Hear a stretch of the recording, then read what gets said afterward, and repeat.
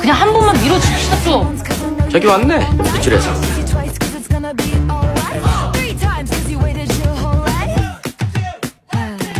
너하고 상대 안 해. 왜? 왜?